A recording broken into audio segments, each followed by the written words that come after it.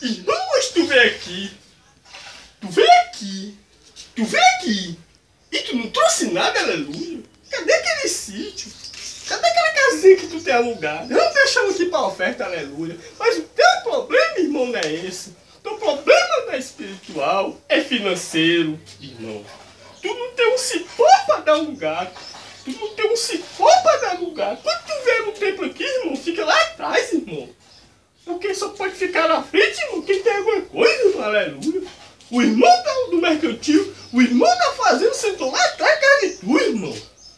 Tu chegou mais cedo e se sentou na frente, mas no próximo culto, irmão, tu vai sentar lá atrás, aleluia. Irmão, só te digo uma coisa.